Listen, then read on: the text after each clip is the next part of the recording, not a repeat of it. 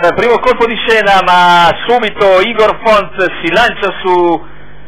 Ismo 7P, lo supera in 100 metri a largo velocissimo Adrian Chip che lotta subito per... Sbaglia, sbaglia anche Adrian Chip a metà della piegata e questo toglie un altro motivo di interesse alla corsa. Il eh, primi due centri molto svelti in 14 e 1 con al comando il favorito Igor Font, sono saltati prima da Stalover, poi Adrian Chip, seconda posizione per Ismos, all'esterno si presenta subito combattiva Idol di Poggio, a largo anche Yuma e K.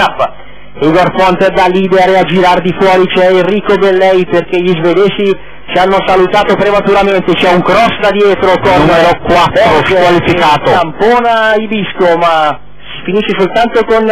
Adrian Chip al tabellone Avanti c'è out. Igor Font che ora ha tutta la parte propria dopo un 29-2 c'è addirittura 16-3 mentre Robert Berg non sente la squalifica e va ancora a correre per corsie impervie Ah, Repeat, number anche four, quattro, out. addirittura sei. Un minuto e otto decimi, ma non ha capito evidentemente Robert Berg e ora anzi, ecco, in questo momento ha sentito probabilmente, o forse no, perché rimane lì, rimane lì, quindi in terza ruota dopo un chilometro ancora da Stalover, forse sarebbe il caso di ripeterlo nuovamente, intanto se ne va il primo chilometro in 1 e 16 al comando eh, Igor Font, la seconda posizione per Ismo FT, all'esterno senza forzare il gol di poggio con in schiera l'altra femmina Yuma e K, al largo ora rinuncia Adrian Chip, mentre in percorsi esterni anche i Disco e Dastolover rimesso in coda, segue Contrari, 1, 31 e 2 i tre quarti di miglio. E Ridol di Poggio ora fa sul serio ma Igor Font va in mano e va comodo. In schiena il 5 di Ridol di Poggio c'è Yuma e K che si trascina anche i disco da dietro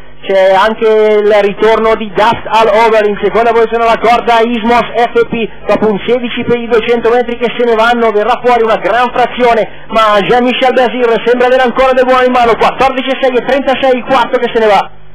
Curva conclusiva, ultimi 400 metri di gara, la corsa si accende con i do di poggio all'attacco di Igor Fonte, fin qui c'è stato, non c'è stato gran ritmo, ora 14-6 però per l'ultimo quarto. Numero Intanto 10, si muove dalla squalificato. anche Contrari, entra in retta d'arrivo, cambia decisamente marcia il battistrada che allunga il mostatino del Saschet, gol di poggio che non lascia comunque la presa nel finale, Igor Fonte che viene avvicinato ma conserva il vantaggio e vince chiaramente su Ismos FP al terzo una